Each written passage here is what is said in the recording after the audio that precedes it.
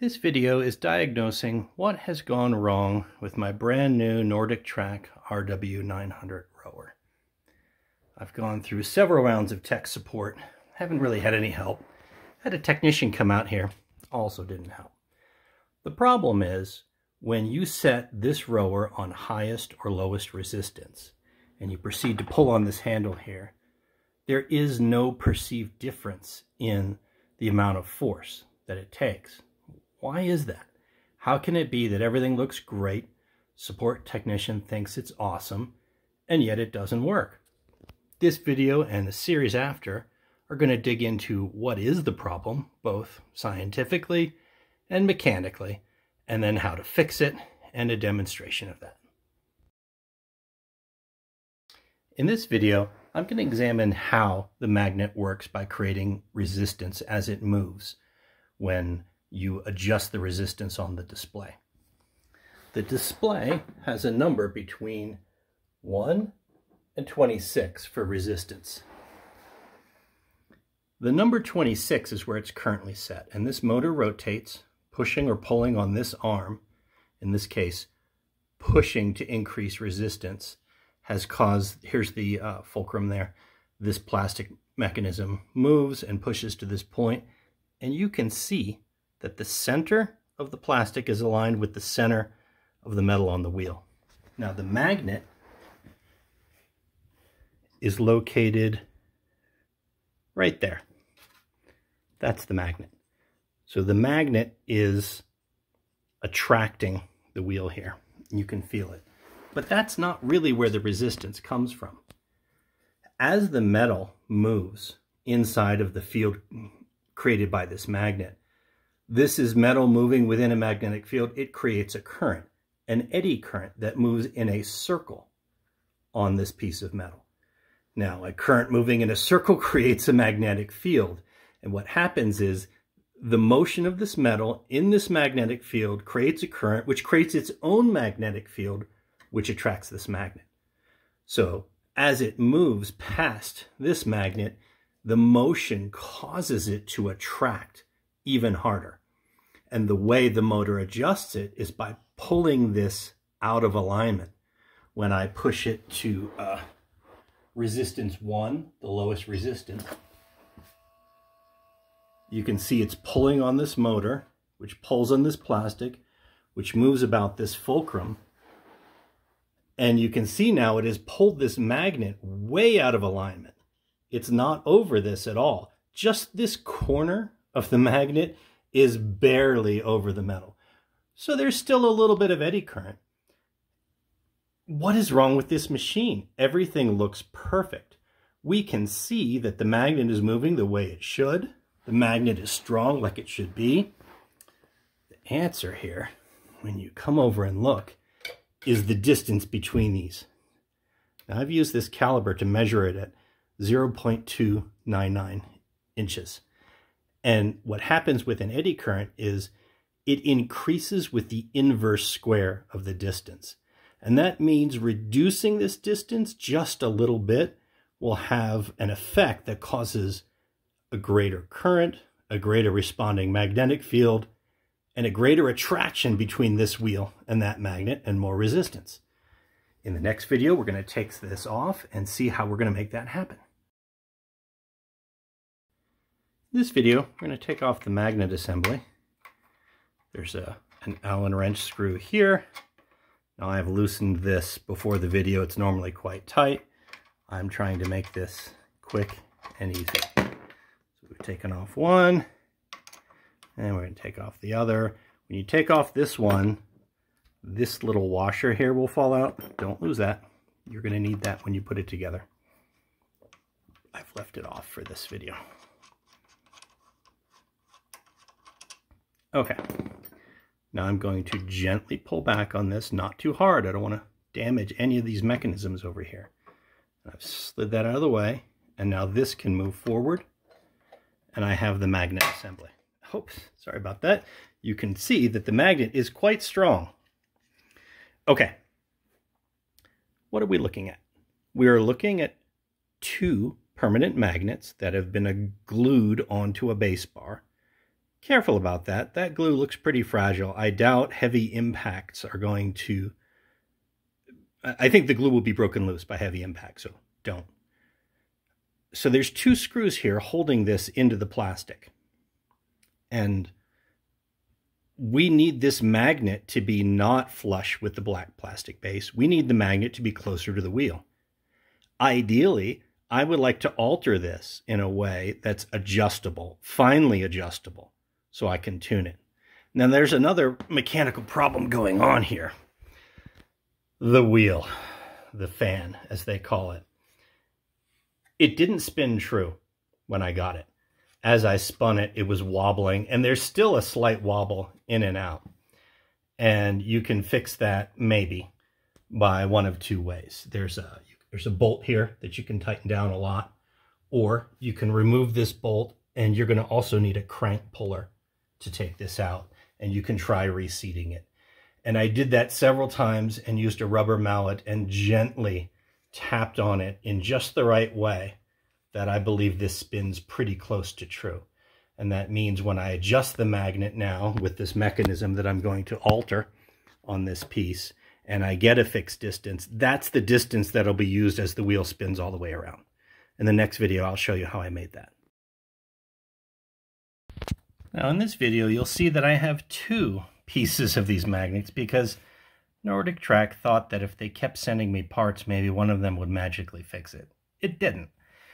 Lucky for me, that makes easier to have a before and after video. So this is the unmodified magnet where this piece is fixed flush in there. Here's my modified version. I've drilled some holes so that some uh, four millimeter metric screws can fit through there. And the reason I chose metric is to find a really fine thread because I, the thread on the screw is going to help us adjust the depth of the magnet. And out the back. We can compare these side by side. I've taken this little ridge here and here and I've clipped it off so that when I put the screw in from the back, a washer will sit flush. What I've done is I've screwed a lock washer, a lock nut on there, and I've screwed it almost all the way down. So we have, going from the back, a washer, the lock nut, and the end of the screw. And I'm going to push that through. And on the other end, I've used my grinder to take one of these uh, lock washers and I've turned it smooth. It no longer has any uh, facets on it to fit a wrench. And the reason I'm going to do that is when it screws on there like that, and this magnet is underneath that, there wasn't enough clearance with an entire unaltered nut to spin. It would hit this magnet. And the plan for the adjustment mechanism is I need the end to spin. So I have taken a grinder and I have carefully rounded two of these nuts. I'm going to stop this video and I'll pick this up after I put this together. Okay, I have just now assembled it and I've screwed each of these rounded nuts on there until the thread just barely comes out the other side. Now I recommend a thread lock on there to make sure. So what's going to happen is this magnet can now come forward quite a bit.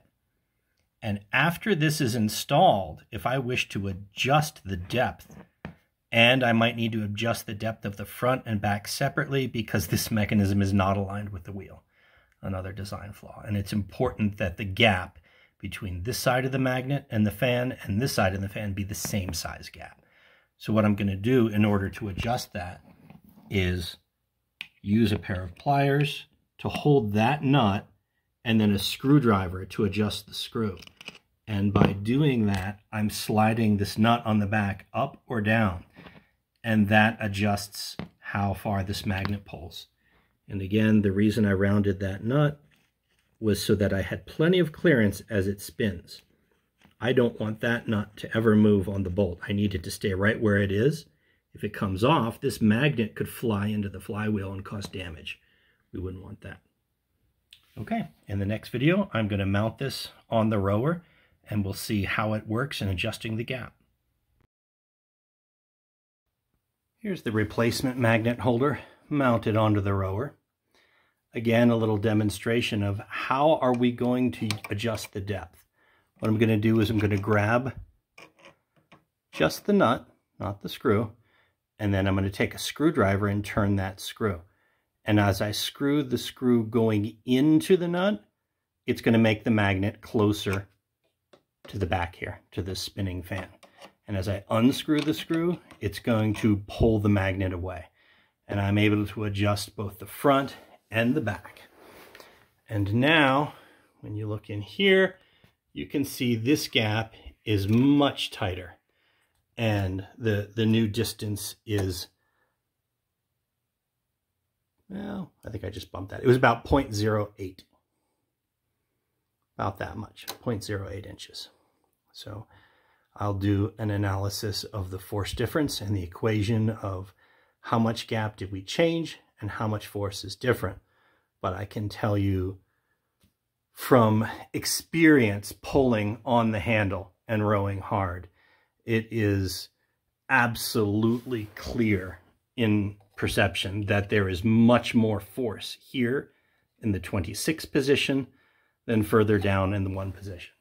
And that's how this is supposed to work. So this, this whole saga, brand new rower, it seems that the NordicTrack Corporation doesn't understand the principles of physics on how their equipment operates or how to test them for quality. Because if anyone had tried this piece of equipment, it would have worked. They would have, I'm going to say it would have failed, or they would have known for certain that the adjustable resistance wasn't happening.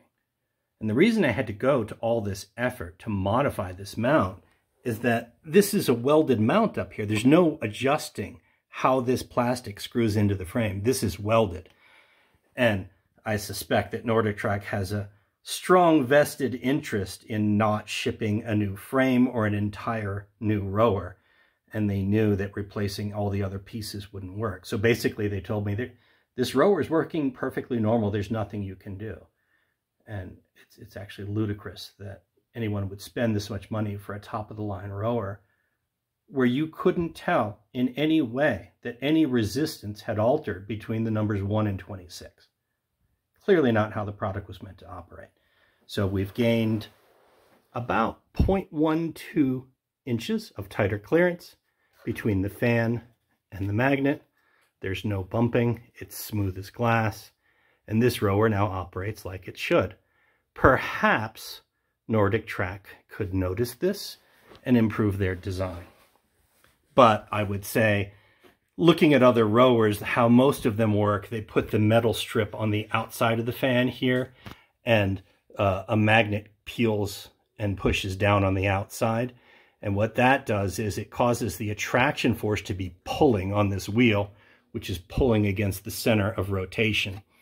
And that's much stronger what's happening in this model is the magnet is pulling here, and you've got this giant fulcrum between the center of the wheel and here, which means this magnet has a lot of leverage. And so that pulling force is trying to warp this whole fan wheel in and out. And as you can see, it's pretty flexible. It's not that strong. So they've designed this magnetic resistance mechanism to take advantage in the weakness of their product. I think they really need to go back to the design board on this and put the magnet on the outside. The reason they didn't, I suspect, put the magnet on the outside is that's where the fan is. What does this fan do? There's this air fan and it makes a big rushing sound and there's a lever up here where you can adjust the air resistance, but it doesn't do much. You know what I think it does? I think the air resistance makes it sound like the rower is doing something. And I think the marketing department told the engineers silent resistance isn't going to work. You have to make this sound like something impressive or customers won't believe it's working. So the engineers probably listened to them and came up with this rather flawed design. I don't know. That's just my guess.